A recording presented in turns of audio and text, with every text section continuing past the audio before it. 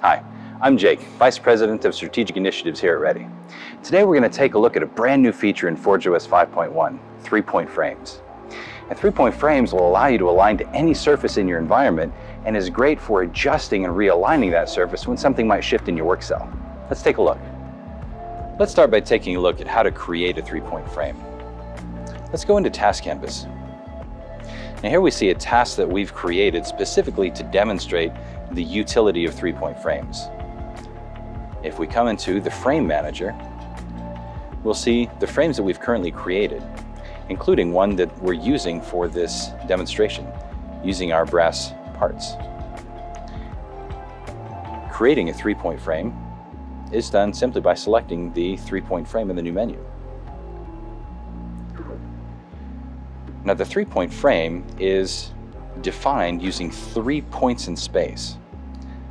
First is the origin point of the Cartesian coordinate frame or frame of reference. The second point is the point defining the direction of the x-axis of that Cartesian coordinate frame. And the third point defines the direction of the y-axis. The demonstration that we've programmed will pick the brass castings from the grid.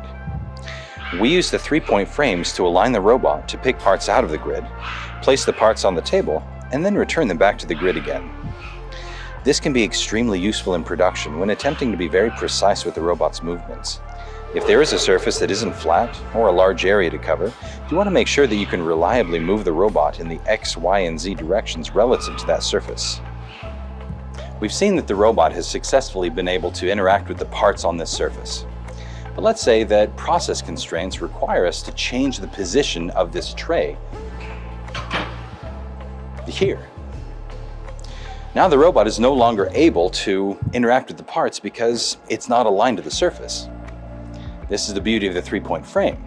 I can just realign the points I used to define the surface in the first place without having to make any changes to the waypoints or the grid and be able to immediately update and interact with the parts successfully again.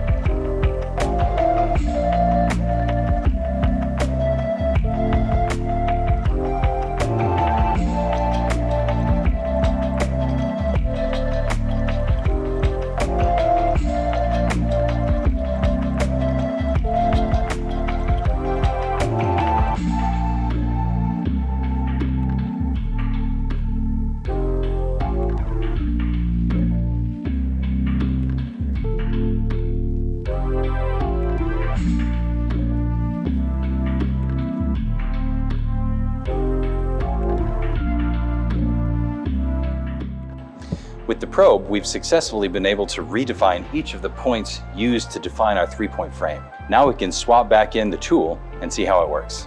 Now that we've got our three-point frame realigned, let's run it and take a look.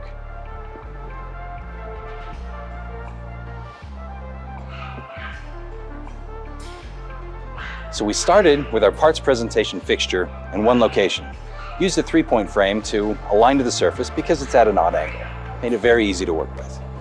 But our process changed and we had to move our parts presentation fixture. Using the three-point frame feature, we were able to very quickly realign where that surface was and we're up and running in no time.